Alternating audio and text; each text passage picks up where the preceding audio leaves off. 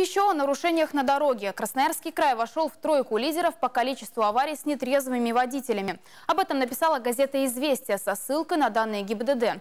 Так, в Красноярском крае за 10 месяцев этого года произошло 478 аварий. Из них больше сотни со смертельным исходом. Второе место занял Краснодарский край. Там пьяные водители спровоцировали более 500 дорожно-транспортных происшествий. Лидером по количеству аварий стала Московская область – 525 ДТП. Аналитики также отметили, что год назад состав тройки лидеров был таким же, но первое место занимал Краснодарский край, а второе – Подмосковье.